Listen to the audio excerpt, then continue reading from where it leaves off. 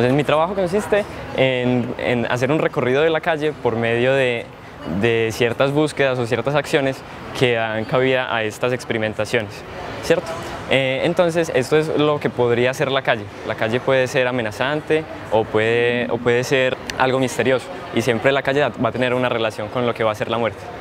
Estas experimentaciones comienzan pues, por, por medio de, de, los objetos encontrados y no necesariamente había animales en ellos al principio. Eh, primero eran simples, simples ensambles de, de, objetos que luego en un momento eh, tuve la oportunidad de encontrarme con un pájaro muerto y simplemente pues, eh, lo, lo estuve pues estuve jugando con él. Me di cuenta que la, que la, que la muerte en los animales o la muerte en general en lo que puede ser la calle es el, como de lo primordial que, que, que, puede suceder. La inspiración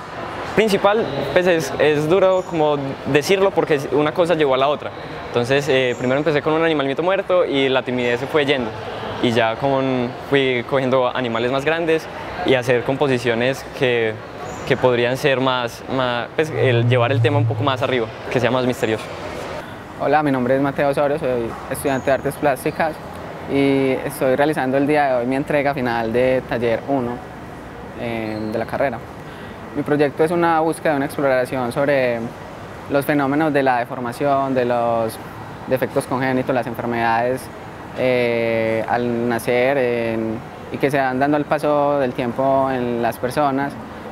Pero también una introspección sobre el pensamiento de estas personas respecto a la sociedad, respecto a su cuerpo, una memoria, o sea, hablando desde el individuo con una identidad propia y también desde el punto de vista político que digamos los, eh, los enmarca en un contexto social donde ellos son estigmatizados, señalados, cómo observan el mundo y cómo sienten que podrían encajar o no sobre las normas culturales establecidas. Quise investigar sobre eso y explorar y me di cuenta que el hombre lo que hace siempre, como lo dijo una vez Platón, es una representación de, de lo que observa en su naturaleza para llevarlo a, a, otro tipo de manifestación, digamos, artística, en este caso, o como lo hicieron los antiguos y lo hicieron otros a través del tiempo. Eh, bueno, mi trabajo es relacionado con la conexión con, de identidad, pero con el mundo natural. En un principio empecé a trabajar como con los temas sobre mi mamá y como esa identidad que viene de la madre principalmente, quien te da el nombre, quien te educa y todo eso. Y ya luego pues empecé a pasar más como a una búsqueda de identidad, pero más como en la tierra, en la naturaleza, buscando mimetizarme como con el paisaje, pero también de una manera como muy espiritual y como mágica. Esta es una de mis fotos favoritas y pues porque muestra la parte de, del ombligo, que es la relación directa pues con el útero materno. Esta entrega consiste en un karaoke que solamente trata de discursos. Entonces el nombre es Karaoke Speech Party. Eh, lo que trata es como de activar a la gente a partir del dispositivo karaoke, pero poniendo enfrente de ellos lo que serían discursos políticos, religiosos, sociales. A partir de la repetición del discurso, hacernos conscientes tanto de lo que queremos, no queremos, activar políticamente a alguien sin estarlo activando realmente, como un poco el engaño de, del dispositivo divertido, este liminoide, este dispositivo que se puede usar en todas las fiestas y que invita como a, participar, pero que realmente también está invitando a, a, hacernos conscientes de lo que ha pasado, de los grandes relatos también trata. Eh, trata de juntar todos los relatos que serían contrarios, este, izquierdas, derechas,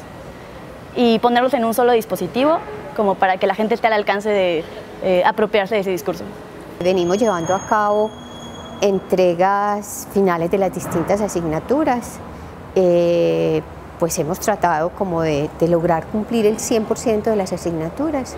Ha sido un semestre pues, que los estudiantes manifiestan un poco de cansancio por lo que eh, tuvieron poco tiempo entre un semestre y otro,